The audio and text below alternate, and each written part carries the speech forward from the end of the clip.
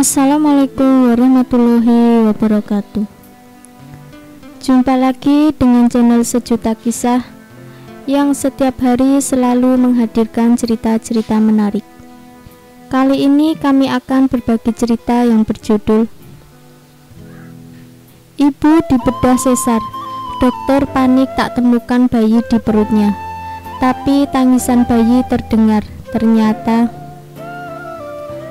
Sahabat sejuta kisah, proses kelahiran adalah perjuangan hidup mati seorang wanita.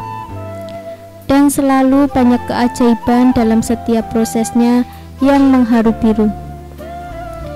Kisah kali ini adalah tentang seorang ibu yang mengalami komplikasi dalam kehamilannya. Adalah Amber Hughes, seorang ibu yang sebelumnya telah memiliki tiga orang anak bersama pasangannya Daniel.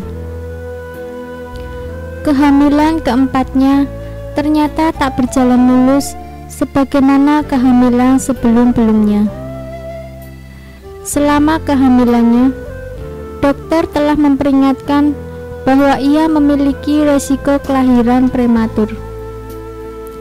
Benar saja, pada usia kehamilan 28 minggu, air ketubannya pecah Amber pun bergegas dilarikan ke rumah sakit untuk melakukan persalinan. Namun bayi Amber yang belum lahir sudah terinfeksi.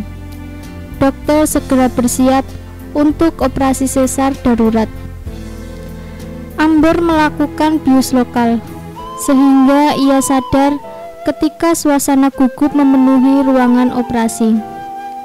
Daniel menggenggam erat tangannya dengan wajah yang pucat. Ternyata tim medis pun tak kalah paniknya. Mereka tak menemukan bayi di dalam perut Amber yang telah terbuka. Kepanikan itu melumer saat dua menit kemudian mereka mendengar tangisan bayi. Para dokter bergegas menemukan asal suara tersebut di balik selimut yang menutupi Amber. Dengan lega mereka menyadari apa yang telah terjadi. Amber telah melahirkan secara normal pada saat yang tepat ketika mereka membuat sayatan pada perutnya. Amber yang menjalani anestesi tak menyadari saat bayinya keluar. Ia ikut panik saat mengira bayinya hilang entah ke mana dalam proses operasi. Amber tak kuasa menahan air matanya saat mendengar suara tangisan lirih itu putra kecilnya. Bayi itu dinamai Oli. Beratnya hanya sekitar 1,3 kg saat lahir dengan kisah menegangkan yang menyertainya. Saat ini Oli sudah berumur sekitar enam bulan lebih dan berada dalam kondisi sehat sebagaimana bayi seusianya. Sahabat sejuta kisah, setiap kelahiran adalah keajaiban dengan beragam kisah yang menyertainya. Demikian tugas seorang ibu tidaklah seketika usai setelah melalui proses melahirkan. Sebaliknya, tugas baru untuk merawat dan mendidik seorang anak hadir bersama peristiwa tersebut.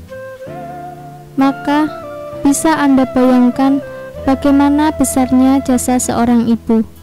Semoga kita semua dikaruniai hati yang pengasih dan mampu membahagiakan orang tua kita setelah kita beranjak dewasa. Jangan lupa nantikan kisah terbaru dari kami. Sampai jumpa. Wassalamualaikum warahmatullahi wabarakatuh.